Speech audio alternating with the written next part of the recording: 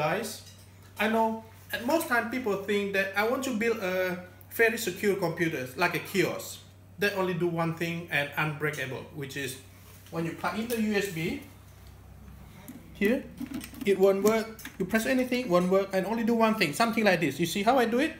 I press the button. Now look at on the screen.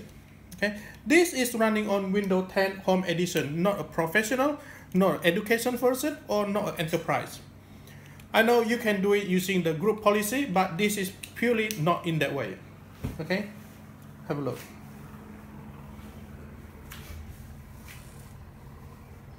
As you can see that here is a Windows 10.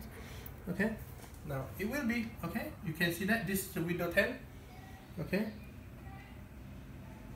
Only one thing. only one thing. This is the only thing you can do. Now look, I'm going to hit the window button. Doesn't work, and you see the Control P. Doesn't work. Now, if you want to capture any character content, you can't. There's no right click.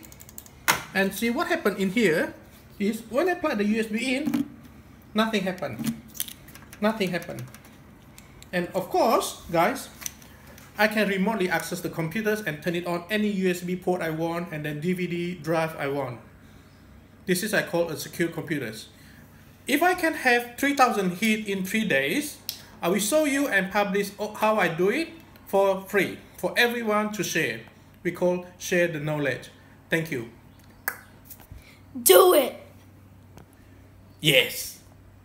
Bye everyone. Make sure to drop a like. Thank and- you. Yeah. Subscribe.